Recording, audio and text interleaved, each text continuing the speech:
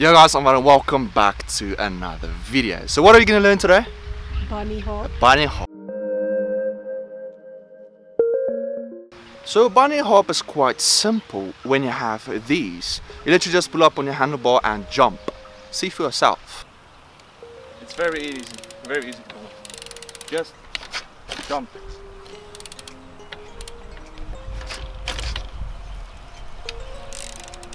Okay, so you get two different uh, bunny hop styles, I guess.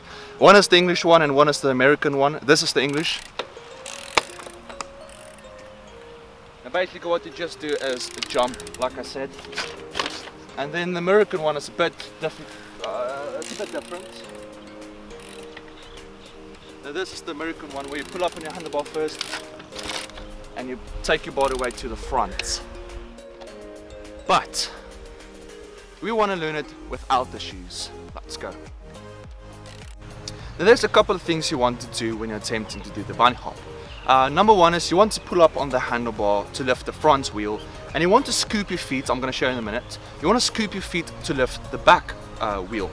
And then you want to lower your body weight on the bicycle, suspending the suspension and use the, the shocks rebounds in your favor.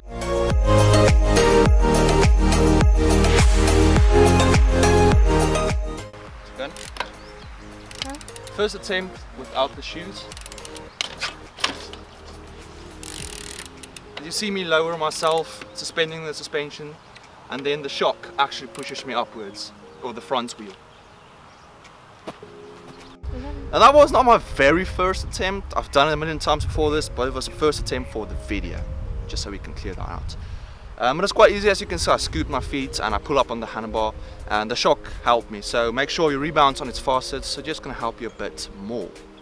Okay, so American bunny hop is next. Now what you want to do is you want to pull up on your handlebars first, getting the front wheel in the air. Now when the front wheel is on its highest point, you want to lift your back wheel, moving your body weight to the front, as the following.